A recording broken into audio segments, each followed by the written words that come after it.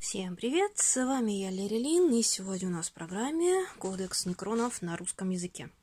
Да, у меня есть такой на английском, вот, но на русском хотелось получить себе в коллекцию, пусть лежит. Ну и вообще интересно будет сравнить, чем он отличается, потому что обещали пофиксить разные правила, стоимость и прочее. Ну вот проверим, насколько это так. Ну а пока посмотрим, полистаем эту книжку. В конце концов, на русском языке тупо удобно иметь при себе такую литературу. Вот. Так вообще я полистала его. Он, конечно, особо по оформлению не отличается. Вот. Не везде мне понравился перевод некоторых названий, но, в принципе, если вы неплохо знаете бэк на английском, то проблем для вас это не составит. Ну, а если вы все изучаете на русском, то какая, в конце концов, разница? В общем, начинается все с бэконикронов. В основном, конечно, все это копируется из предыдущих кодексов, поэтому тут почти ничего нового узнать не получится, но все равно интересно это все полистать, посмотреть, потому что некоторые вещи со временем, конечно, забываются. Пожалуйста, вам театр военных действий, можете поизучать использовать для какого-то своего бэка. Узнать, что такое миры гробницы. Какие бывают. Вот одна из замечательных вещей этой книжки вот такая карта.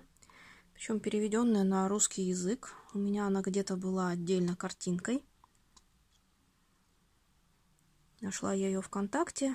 Если вспомню где, надо будет ее приложить. К сожалению, лампа отсвечивает, не все видно. Но карта прекрасная то можно выбрать себе династию. Если они, по-моему, указаны практически все, какие как-то упоминались в бэке. Ну, можно придумать свою, например, как я. Такая иерархия некронов. Очень удобно. Сразу дает понимание, с кем мы имеем дело.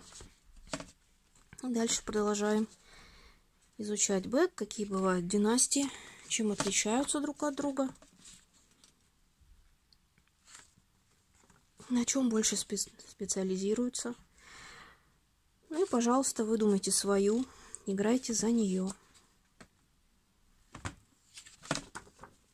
Очень эффектно и красиво все это выглядит. Все эти арты, конечно, уже появлялись, но здесь они отпечатаны очень классно, на шикарной бумаге. И сама печать очень качественная. В общем, можно любоваться просто книжкой чисто внешне. Все известные герои Некронов.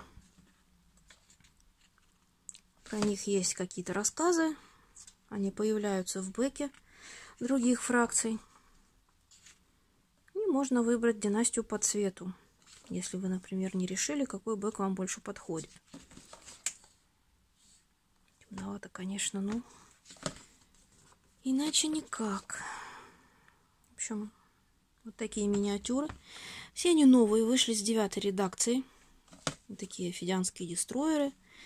Тяжелый лакуст. В общем, все они новые. Великолепнейший царь Сарих на своем летающем троне. Я его собрала, но так и не покрасила. Очень стыдно. Ну что делать? Времени, к сожалению, не хватает на это цвета Сариханской династии и как это все смотрится на игровом столе. Многие выбирают обычно династию, которая ведет в кодексе. И, к сожалению, редко придумывают свои или выбирает какие-то другие династии.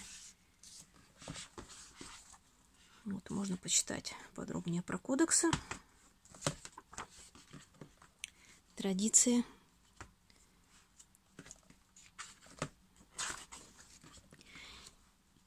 начинаются уже правила, стратегемы. Выбирайте, какие вам нужны. Есть общие, есть конкретно под династия. Фактически это переведенные на русский язык карточки. Поэтому если у вас их нет, то вот они все в кодексе. Ну, просто карты удобно носить с собой. Например, если кодекс у вас в телефоне, ну, карты вы взяли, и вот они все нужные вам обилки перед глазами. Также выбирайте для себя. Все цифры и правила здесь есть. Отдельно ктан, дополнительные правила. В общем, все, что вам нужно. Крусейды. Все по новым правилам. Ну, династические эпитеты. Как улучшить оружие. Реликвии. Как собрать себе армию на крусейд. В общем, все, что нужно. И дальше начинаются инфолисты под миниатюру. Вот можно даже посмотреть. Это примерно где-то, не знаю, процентов 40, наверное, книги. В общем, начинается все с основных героев. К сожалению, они пока не в пластике, только форджа. Но, в общем, может быть, мы дождемся их переиздания. Здесь уже новые миниатюры. Вот те, которые появились в Индомитусе. Нет, это старые. Вот эти новенькие. Общем, можно посмотреть все правила.